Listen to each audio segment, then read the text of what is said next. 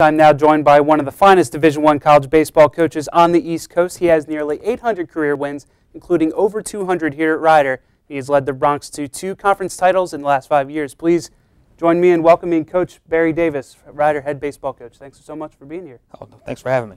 No problem, Coach. And it, it's good to see you not busy running around. I know, ironically, you just came in from running around. I know you just came in from practice. But, uh, man, you've been traveling a lot with this team. You've covered pretty much the entire East Coast from North Carolina to Virginia and South Carolina, which I was lucky enough to join you and the team on.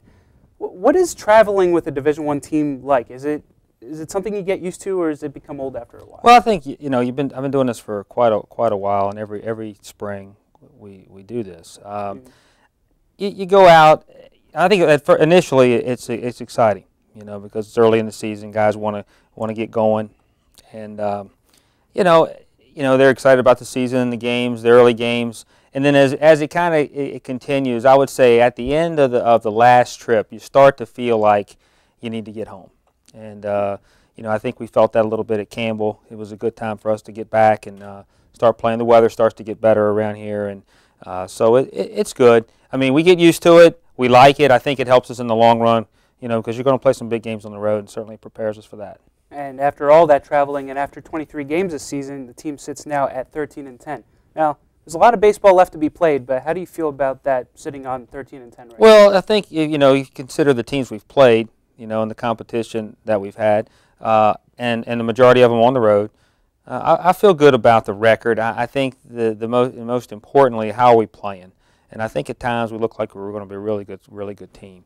Uh, there are some things that we need to continue to work on, and I think that's what a season allows you to do. I mean, I think the good teams always seem to get better as the year goes on, and hopefully we'll be one of those types of teams. But I'll take 13 and 10, and uh, we've got a big series coming up this weekend with Canisius, and we have two tough midweek games uh, this week against Seton Hall and Maryland. So, again, tough road. These next five games will be real competitive. And speaking competition, conference play, as you mentioned, just began.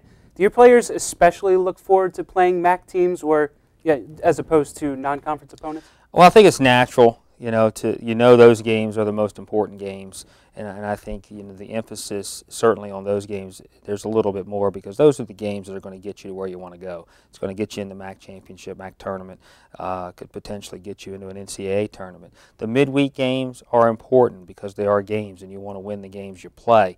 But to answer your question, I think that the, you know it's it's naturally natural where guys their their intensity level is a little bit better uh, on the weekends. However, this week, you know, we're we're going to be you know the David uh, at Seton Hall and at Maryland. So certainly, I think we'll be ready to play those games as well. And your players have certainly shown a lot of enthusiasm thus far this season because they have outscored opponents 122 runs to 80. That's a differential of 42 runs.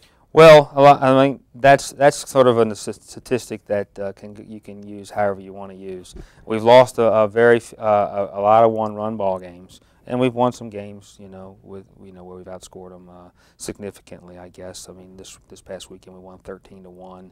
I think was was one game Radford series. We had uh, a big a big series. So that statistic I, I don't really pay attention to too much, but at the end of the day, wins and losses is probably more important. Now uh, you know, the, bat, the bats have certainly come alive. But one thing I remember talking to you in the offseason that you wanted the team to improve on was pitching. Now, let's go back before the season began. Okay, you haven't played Norfolk yet. What if I told you by April 1st, your number one starter in the rotation, Tyler Smith, would have 39 strikeouts and just six earned runs? Your second guy in the rotation, Kurt Soa, would have a 5 and 1 record with 24 Ks. And your third man, Mike Murphy, 23 Ks, and he would hold the sixth ranked team in the nation in USC to one earned run on five hits. What would you say? I would say that I would be very happy with that.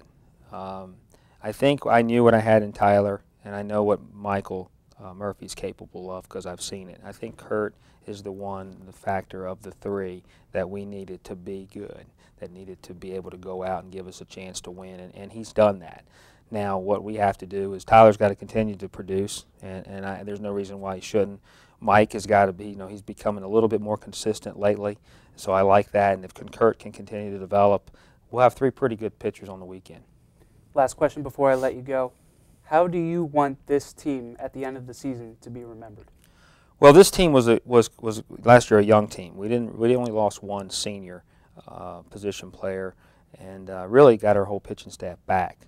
And I think that the, the thing that, that I would remember, hopefully, is that this team has, made a big jump from 2012 to 2013 and in number of wins, in number in, in maturity, in how we handle ourselves, the ability to grow up, be able to handle some adversity a little bit better. And I think at the end of the year, is it a team that's going to be able to win the MAC championship? And I think we have the ingredients to do it. We said that early in the season, and I can see where we can be that kind of team. So that's what I would like to see.